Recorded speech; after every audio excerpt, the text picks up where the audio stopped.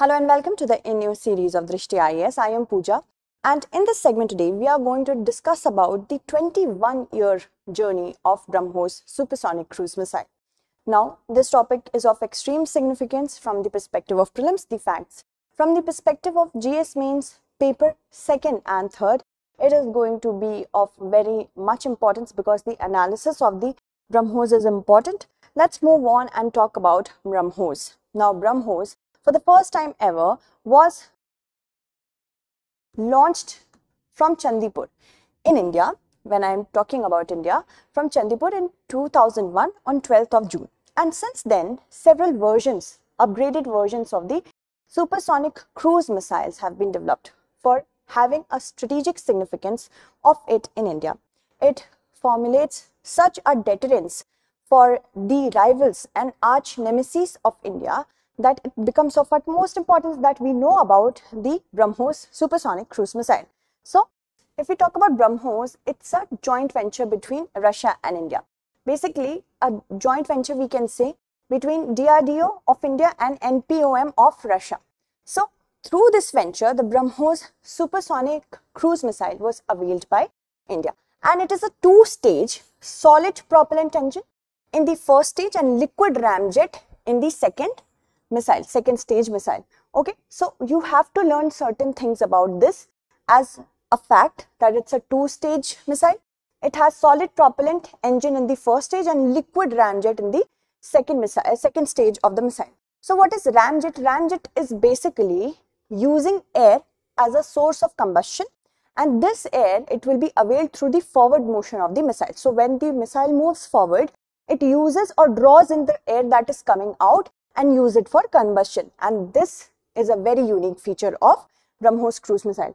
It is a multi-platform missile. It can be launched from land, air, sea and even submarine. And it is a missile with pinpoint accuracy. That means it's so accurate. That is why it gives an edge to India over other, over other countries when it comes to supersonic missile. Works both night and day and despite of any weather condition, it is amazing and it works on the fire and forget principle. That means once you have set your target, after that there is no need to maneuver it towards the target. It is the fastest cruise missile in the world and it works more than three times more than the speed of sound. Okay, Mach 2.8 to three times more than the speed of the sound. Okay, moving on. If we talk about the background, when it there was a need of India getting independent with respect to its own missile program, the Integrated Guided Missile Development Program was launched during the tenure of when APJ Abdul Kalam basically was overseeing this entire program. And Prithvi, Agni, Akash, Trishul and Nag were built under it. And you see, the sanction of the fund was rupees 389 crore. Now till 2007, only Prithvi and Agni were ready and the completion of Agni and Prithvi projects required an additional 1770 crore. So, so much of the value of the GDP has went into the integrated guided missile development program. Prithvi was the first missile to be inducted into the Indian Army. This is a prelims fact. DRDO basically took 26 years to develop three variants of the Agni missile.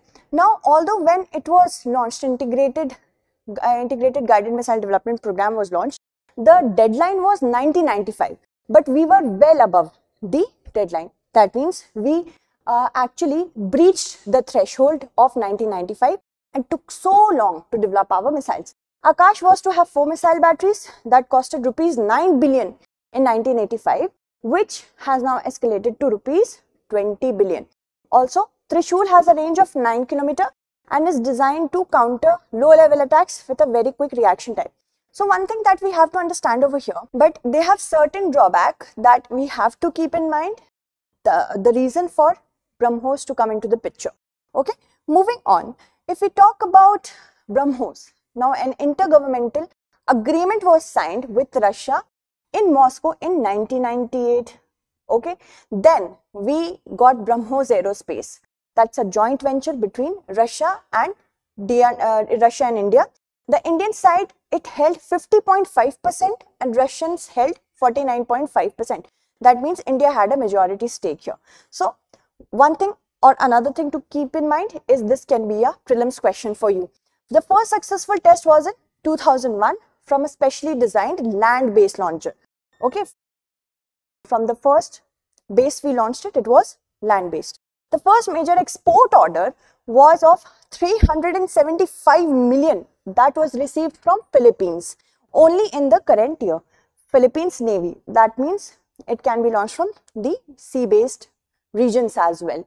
Okay, moving on, if we talk about what is need for cruise missile first, that at that time, it was seen that Pakistan and China, they were aggressively pursuing their own missile programs. And during the Gulf War, it was felt that India needs a strategic edge because the world has been volatile ever since it was, it came out of the colonial period. So what is cruise missile? It's a type of low flying strategic guided missile. And because of the precursor to the cruise missile, the precursor to the cruise missile was German V-1 missile. This was launched or used during the World War II. After this, US and USSR, it started pursuing their, they both started pursuing their missile programs by keeping in mind that they wanted a supersonic cruise missile. Okay, moving on, if we talk about the world's fastest cruise missiles, first is BrahMos between India and Russia. Secondly, we have the C-802. This belongs to China, supersonic cruise missile. Then comes P-800 Onyx. This, of course, was built during the period of USSR, now belongs to Russia.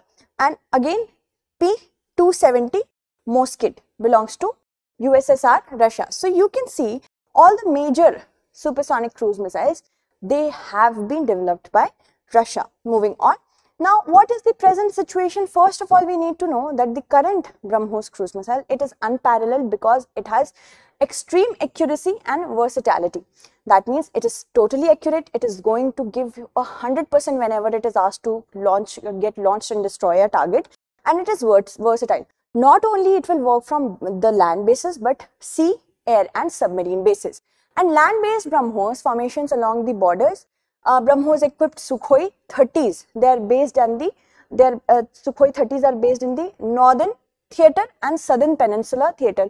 So, if we talk about the borders, there these strategically significant BrahMos cruise missiles have been situated so that in any case of threat, it can deter the enemy. The BrahMos capable ships and submarines, they are deployed in sea together, they form a triad. That means they are a triangle, they are build, building a triangle.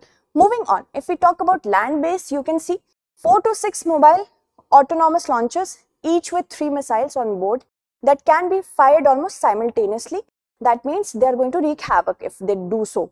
The upgraded land attack version with capability of cruising at 2.8 Mach can hit targets at a range up to 400 km with precision. For ship-based, for the first time ever, it was launched in 2005. It was successful in hitting sea-based targets beyond the radar horizon. The BrahMos can be launched as a single unit or in a salvo of up to 8 missiles, separated by 2.5 second interval. These can target a group of frigates with modern missile defense system.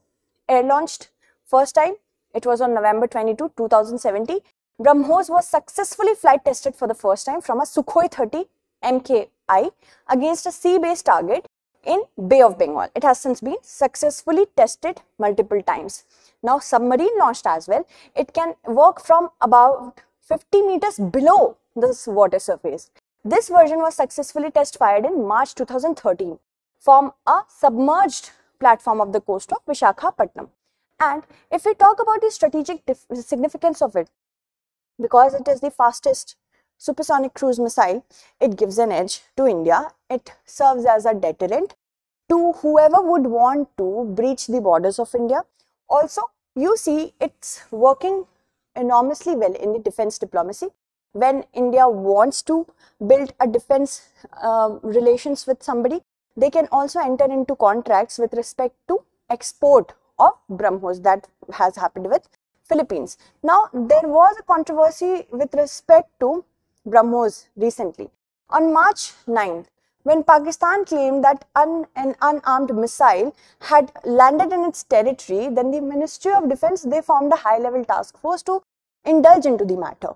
But it is still not clear which missile was it. Also, some experts believe that it was BrahMos because there was a technical malfunction it was associated with that. So what is the way forward? Now, more versatile BrahMos missiles are getting built up that have higher ranges, maneuverability and accuracy as well. Versions currently being tested, they include ranges up to 350 kilometers as compared to the originals to 90 kilometers. Alright. And versions with even higher range that is up to 800 kilometers with hypersonic speed are said to be on the cards.